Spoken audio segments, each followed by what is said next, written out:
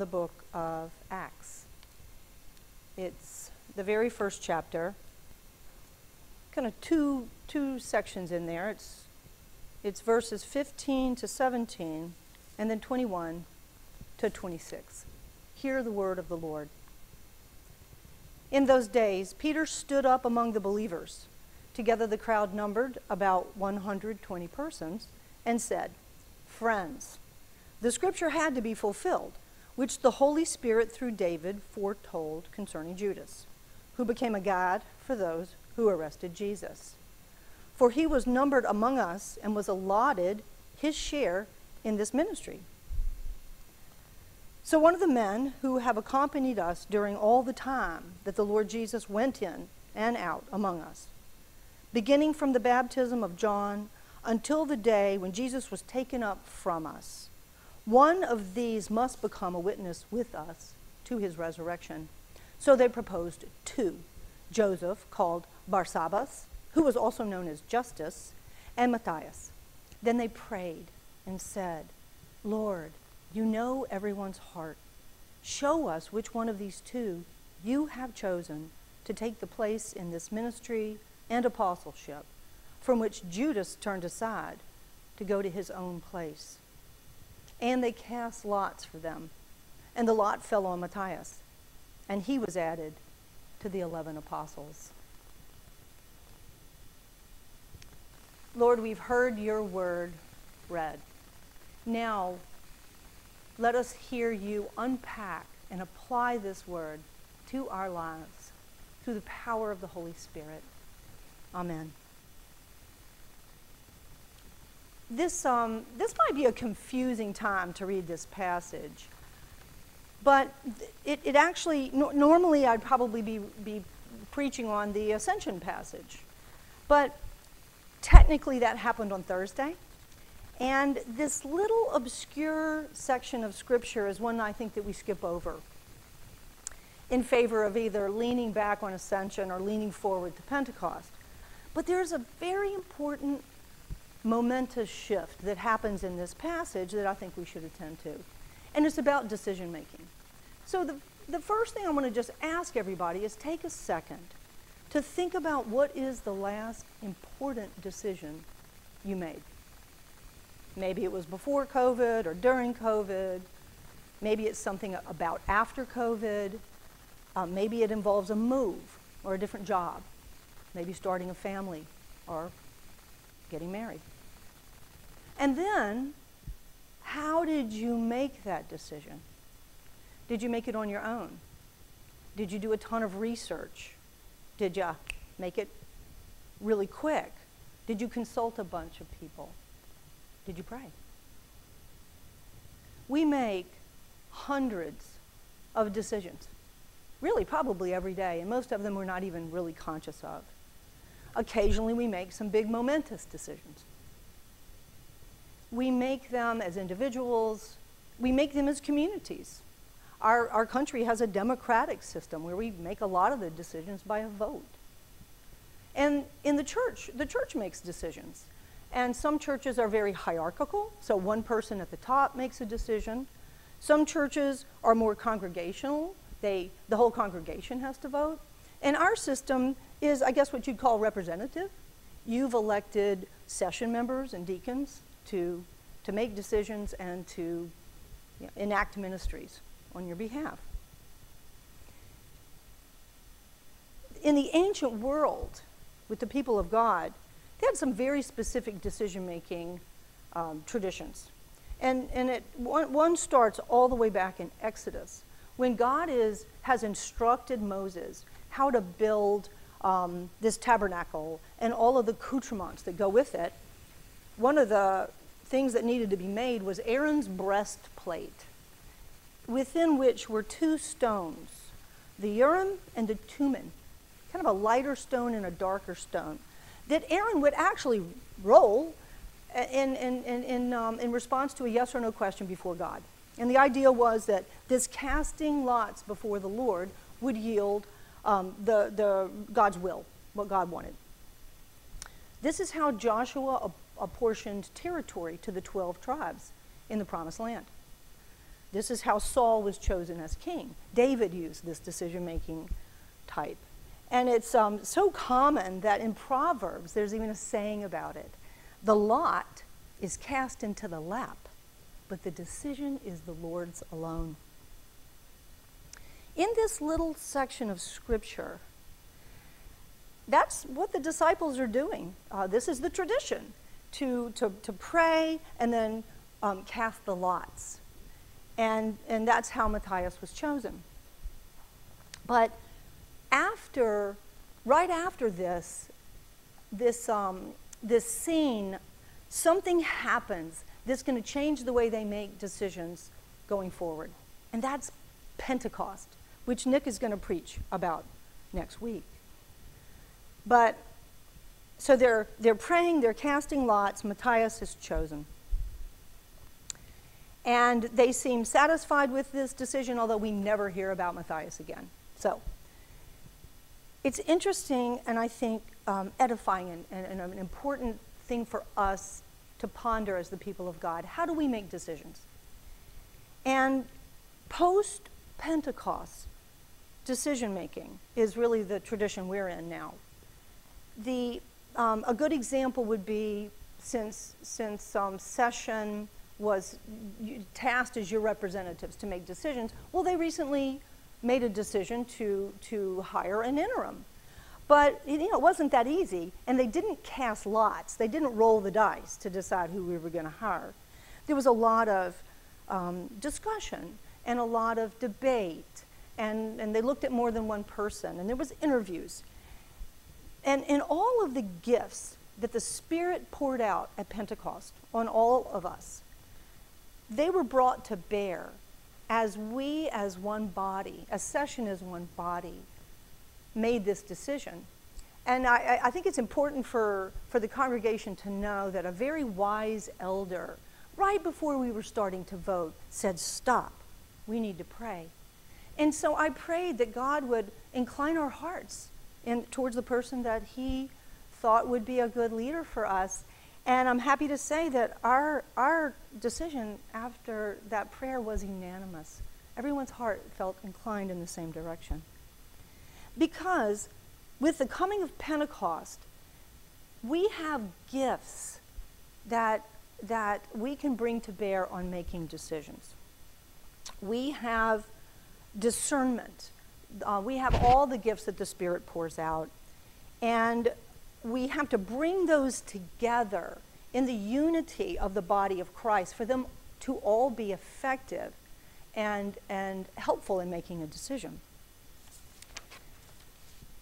And then we have to, we have to activate the Spirit. We have to ask the Spirit to come and in, incline our hearts as, as one body. And that, that was um, Sessions' process for hiring the interim. And um, they're going to be engaged in, that, in a similar process later today when they decide when and how we'll open the church for in person worship. When I was feeling the call to go to seminary, I really thought I was sure, but I wasn't 100% sure. And I felt like the Spirit was calling me.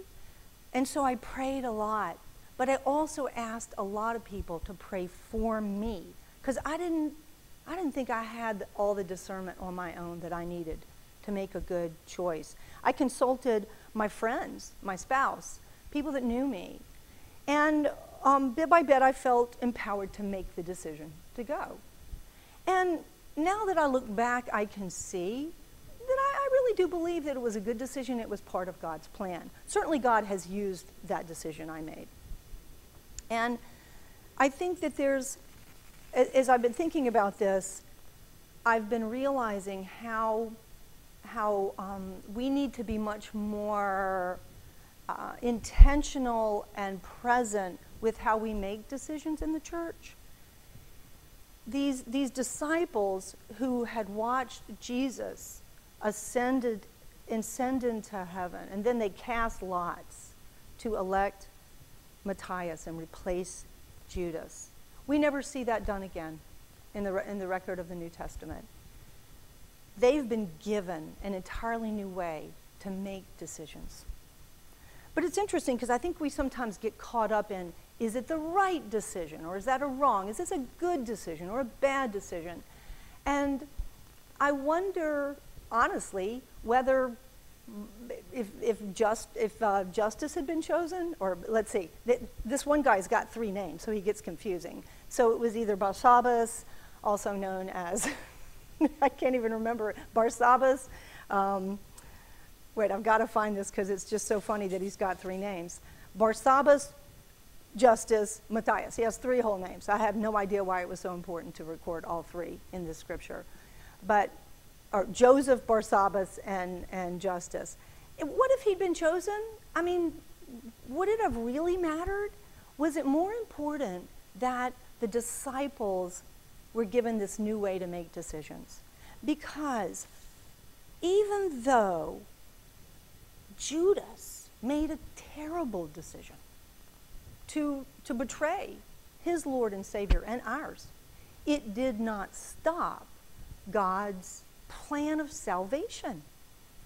And so I kind of hold that intention with this wonderful scripture in Isaiah, this prophecy that I believe what became revealed and became true at the coming of Pentecost.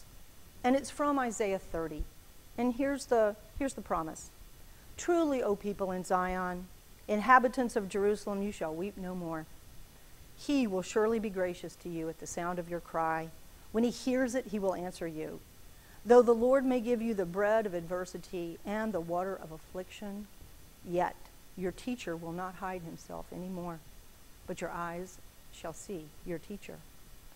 And when you turn to the right, or when you turn to the left, your ears shall hear a word behind you saying, This is the way. Walk in it. I've always found that to be a very mysterious scripture. But holding an intention with this particular scripture in, in Acts helps me understand that maybe sometimes we, we, we simply have to make decisions as individuals and as communities and as the church. But maybe we, we have to have more confidence that when, as we incorporate Christ's body in the world, and as we make decisions, that we have God with us. And so even if we make a poor decision, God remains with us. You know, the disciples go on to make a ton of decisions, big and small. And they make, they make them now as the body of Christ and through the power of the Holy Spirit. And they've passed that tradition down to us today. They didn't always see how those decisions fit into God's great plan of salvation, God's plan to change the world. And neither, neither will we. And so I look back on some of the decisions that we've made here at Grace Church that have sometimes been contentious. There was the, the decision to build the organ, which I hear was quite, quite a contentious time, or to build the education wing, or the, the decision to support Black Lives Matter, or, or come alongside Asian American and Pacific Islanders um, to, to support missions. We've made these, these decisions time and time again. And, and I think that as we, as we look back, yes, many of them have been, I believe, good decisions. But God's been with us in it, and God's in charge of taking all these little decisions that He has actually delegated to humanity, to His people, to the disciples of Christ to make. That God will will remain with us in all of our decisions and work them for our good and work them for the good of creation. Because the call on our congregation and the call on the, the whole Church of Jesus Christ is to bring our spirit inclinable hearts and the Holy Spirit discernment about the will of God, not just into the church, but out into the public square. Because we are to, to bring this extraordinary decision making capacity um, that involves God's own spirit into everything around us, into all the decision making that goes on in the world. Because you look at some of the decisions that are going on around the world, and it's as if people are just rolling the dice, are just saying, okay, pick one. And, and so we have to be confident that the decisions that we make in and outside the church make a difference. They make a, a difference because Jesus said, apart from me, you can do nothing. But Jesus has now offered the power of the Holy Spirit. And as we make decisions, big and small, we can be confident and feel a sense of freedom because these decisions are in the hands of a God who has a plan. And truly, these little decisions that we aren't sure about, they may be accomplishing more than any of us can imagine or dream of. And so pray for the session today and, um, and remember to, as you make decisions, don't do them alone. And don't even do them with God, but include your community because something happens in the body of Christ when we bring all that we have to bear in, in, in making decisions. And so may God have mercy on us as we do the best we can. Amen.